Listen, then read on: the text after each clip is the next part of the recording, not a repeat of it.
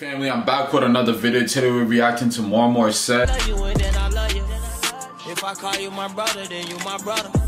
You was part of my struggle, part of my struggle. This is the latest cover, 2020.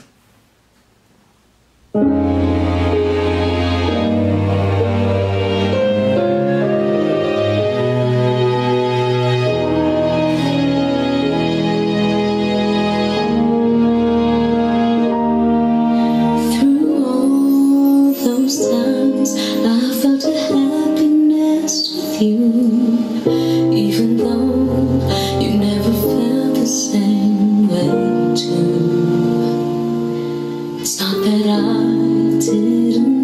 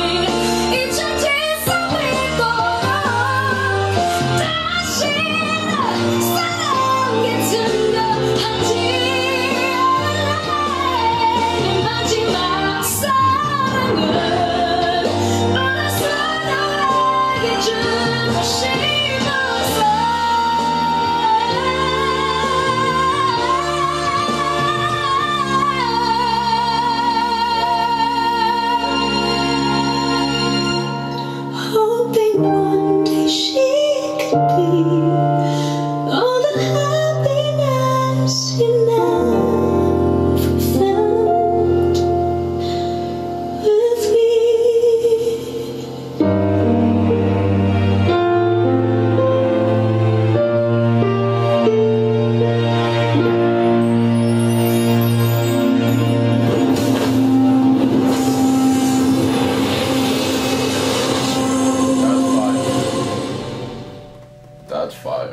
I love the self-love message that that song has. I salute this. Like I said, I know it's a cover, but the way she sings it, you would think it's really her life. It's crazy. This is a 10 out of 10 for me. Y'all let me know y'all ratings in the comment section below. If you're not sub, sub to the channel, like the video, and I'm gonna catch you on the next one.